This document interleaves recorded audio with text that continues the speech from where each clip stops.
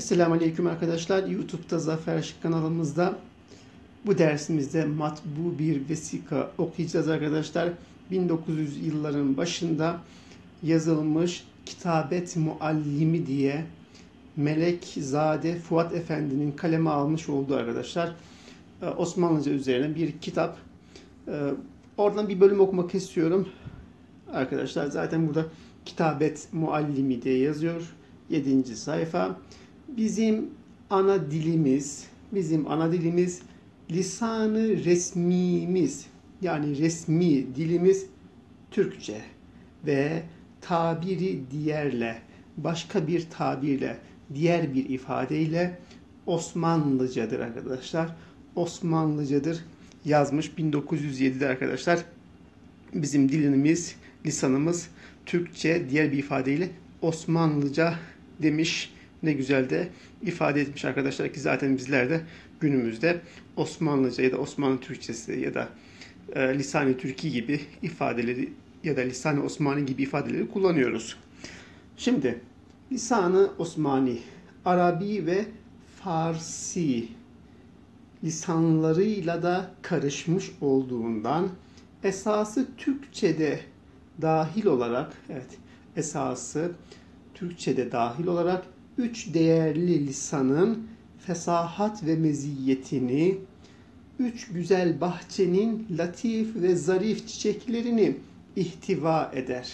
Hem Arapçadan hem Farsçadan hem Türkçeden arkadaşlar en güzel taraflarını kendince arkadaşlar almış. Böyle bir bahçeyi oluşturmuş. Lisan-ı Türkiye'de diğer lisanlar gibi dikkat edersin yukarıda lisan-ı Osmani dedi arkadaşlar. Türkçe dedi, lisan-ı Türki dedi, Osmanlıca dedi. Hepsi de kullanılıyor arkadaşlar. Biri e, olmaz, şu olur gibi ifade kullanmak değil. Osmanlı döneminde yazılmış bir kitapta hepsi kabul görmüş arkadaşlar.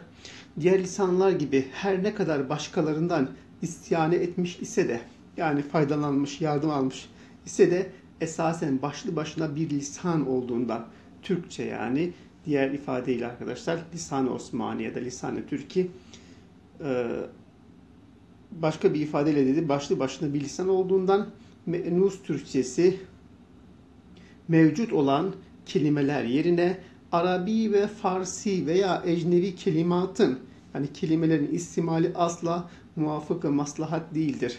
Burada yani Türkçe bir kelime varsa onun yerine Arapça, Farsça veya ecnebi bir kelime kullanmamamız gerekiyor. Arkadaşlar Türkçe'de mevcut bir kelime var. Örnek veriyorum çiçek. Çiçek kelimesi dururken e, farklı ecnebi kelimelerde kelime kullanmak roza gibi ya da ne pek uygun değil diyor arkadaşlar. Onu ifade edelim. Şimdi devam ediyor son kısım arkadaşlar.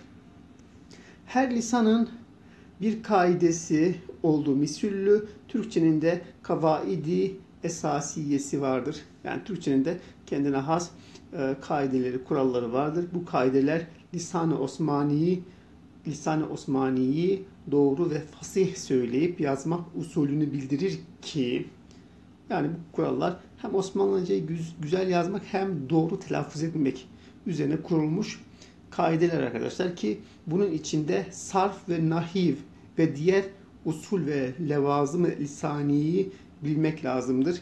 Bunun için de Osmanlıca'nın da e, yani Türkçenin de diyelim artık kendine has sarf ve nahiv diye gramer kuralları var. Sarf kelimelerin aslından ve binasından, nahiv de kelimelerin cümle veya kelamda e, yani burada söz, e, artık cümlelerde, paragraflarda alacağı ahvalden bahseder. Evet, sarf kelimelerin aslından, kökünden, e, ondan sonra çekimlerinden, binasından, nahiv de artık bunun bir tümce hali, cümle hali, kelam halini araştıran, onunla ilgili kuralları ifade eden bir ilim arkadaşlar.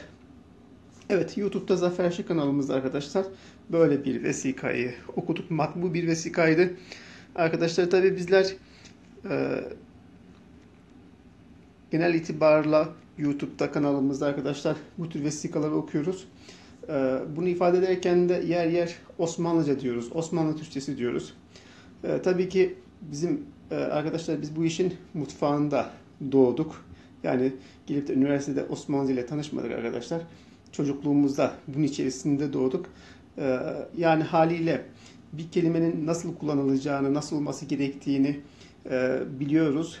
Mesela ben Osmanlıca diyorum, bir arkadaşımız çıkıyor, e, beni tavsiye etmeye çalışıyor. Osmanlıca diye bir şey yok. E, şöyle olması lazım, böyle olması lazım diye. Kendince arkadaşlar iki bir şey okumakla bize akıl fikir veriyor. Verebilir ama arkadaşlar başkalarının fikrinden daima saygılı olmayı öğrenmeliyiz, bilmeliyiz. Bu çok önemli arkadaşlar. Nezaket önemli. Ee, Bizim bildiğimiz e, tek doğru değildir. Birçok doğru olabilir. Mesela bu Osmanlı döneminde yazılmış e, Türkçeyi ifade eden 4-5 tane ifade var arkadaşlar. Yani bu hepsini kabul etmek gerekiyor. E, Doğrusu esas olan da budur. Özellikle zaten bu dersi bunun için paylaşmak istedim. Teşekkür ediyorum arkadaşlar. İnşallah başka bir derste yine görüşürüz. Allah'a emanet olun. Esselamu Aleyküm.